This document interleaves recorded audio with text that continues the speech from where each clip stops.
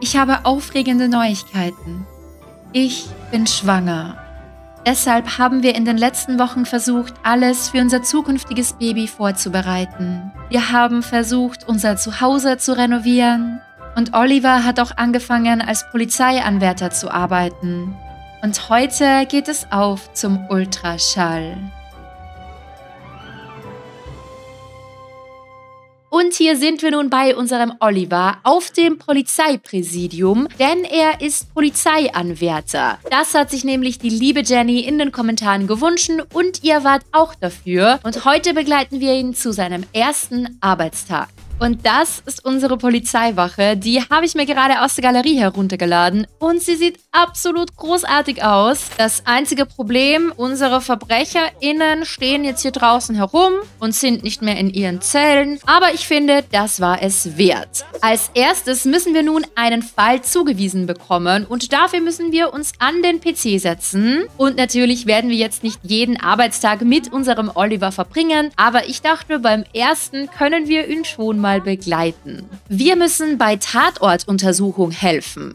Du musst die Grundlagen lernen, bevor du deine eigenen Fälle bearbeiten kannst. Du beginnst, indem du einem erfahrenen Polizisten bei der Untersuchung eines Tatorts zur Hand gehst. Und hier über dem PC werden wir nun zum Tatort reisen. An Tatorten findest du Spuren, die bei der Suche nach einem Verdächtigen hilfreich sein können. Untersuche beschädigte oder gestohlene Objekte und suche den Boden in der Nähe nach Spuren ab, um mehr Hinweise zu erhalten. Also wir müssen Fotos machen, Hinweise sammeln und mit Zeugen sprechen. Das ist Cole. Cole ist ein Zeuge, deshalb werden wir gleich mal einen Zeugenbericht aufnehmen. Erfährt man hier gar nicht, was da überhaupt passiert ist? Hier haben wir jede Menge Staub, da können wir ja mal nach Spuren suchen. Wir haben eine Geldtasche gefunden und einen Turnschuh. Wir werden ein Beweisfoto machen und dann das Beweismaterial sicherstellen. Auch hier können wir ein Beweisfoto machen und Beweismaterial sicherstellen. Eigentlich haben wir gerade ein Foto von Cole gemacht, aber okay. Probier es jetzt einfach in jedem Raum mal. Möglicherweise taucht ja noch was auf. Hoffe ich zumindest. Ansonsten können wir unsere Arbeitsaufgaben nicht erfüllen. Und das wäre ziemlich blöd. Oh nein, ich habe vergessen, dass ich eigentlich länger bleiben wollte. Deshalb haben wir heute nur angemessene Arbeit geleistet und 144 Simoleons verdient. Dabei wollte ich eigentlich, dass wir befördert werden. Aber jetzt, wo wir zu Hause sind, wird unser Oliver gleich mal zur Snow gehen und wird einmal mit ihr flirten und dann werden die beiden sich auch einmal küssen. Denn wie ihr im Intro schon gesehen habt, unsere Snow ist schwanger und mittlerweile sieht man das auch schon ganz schön. Was bedeutet, die beiden können nun zum Ultraschall gehen.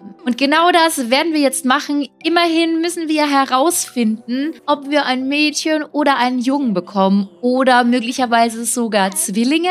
Und die beiden sind wieder da. Snow kann für die beiden mal etwas zu essen zubereiten. Immerhin war Oliver den ganzen Tag bei der Arbeit und hat noch nichts Vernünftiges gegessen. Und wie immer, unsere Auswahl ist nicht besonders groß. Es wird wieder eine Familiengröße Hallo Hallo. Und während sie das macht, schauen wir uns das Ultraschallergebnis an. Und Snow und Oliver bekommen tatsächlich Zwillinge. Wir bekommen zwei Jungs. Das passt einfach so gut zu Schneewittchen und die sieben Zwerge. Also schreibt mir bitte gerne eure Namensvorschläge in die Kommentare.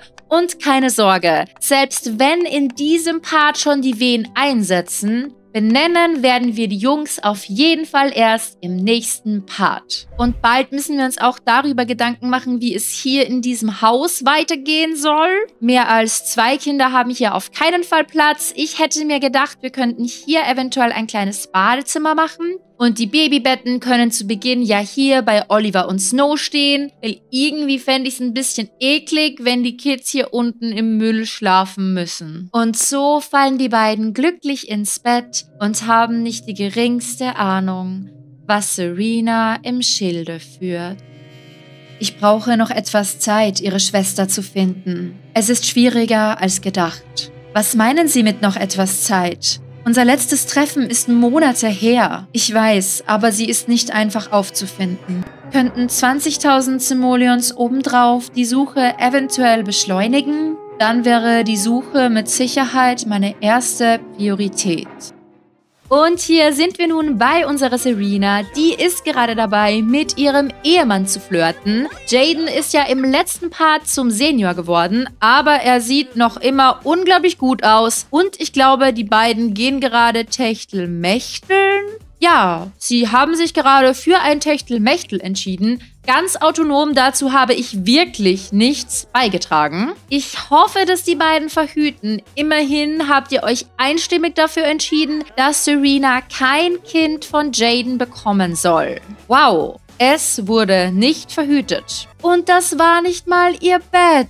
Das war nämlich das Bett von Gabriela, einer der beiden Stieftöchter von unserer Serena. Und wie man hier unten ganz gut sehen kann, ihre Stieftöchter wohnen nicht mehr hier. Offiziell war der Grund, dass die beiden nach Brightchester wollen, um dort zu studieren. Aber in Wahrheit hassen sie beide einfach ihre Stiefmutter.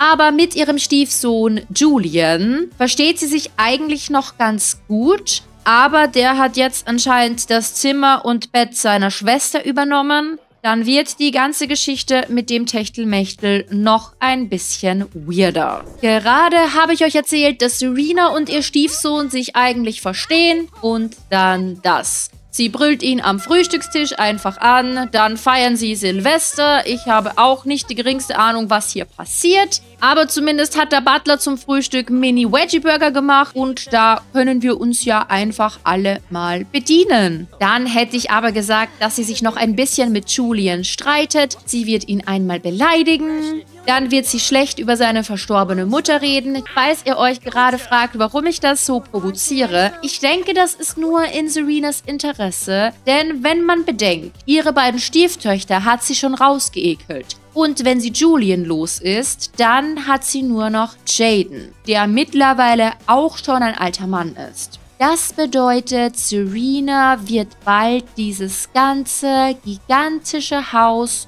nur für sich allein haben. Ihr könnt mir schon gern mal in die Kommentare schreiben, was wir dann mit all den überflüssigen Räumen machen sollen. Und natürlich auch, ob unsere Serena sich noch einen zweiten Ehemann suchen soll. Irgendwann wird sie ja Oliver heiraten, wenn unsere Snow dann irgendwann mal von uns gegangen ist. Aber das dauert ja immerhin noch. Ich finde, da hätten wir schon noch Zeit für einen Mann für zwischendurch. Aber apropos Snow, was treibt denn sie eigentlich gerade?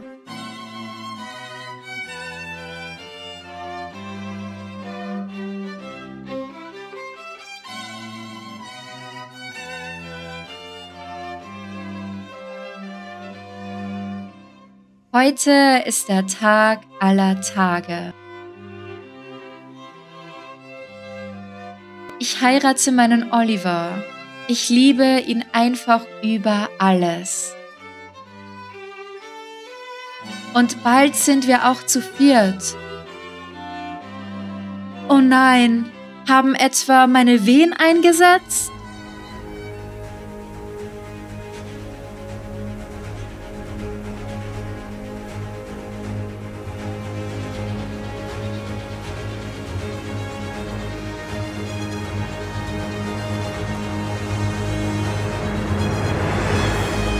Hier sind sie, meine wunderschönen Zwillinge. Zwei gesunde Jungs. Aber wie soll ich sie nur nennen?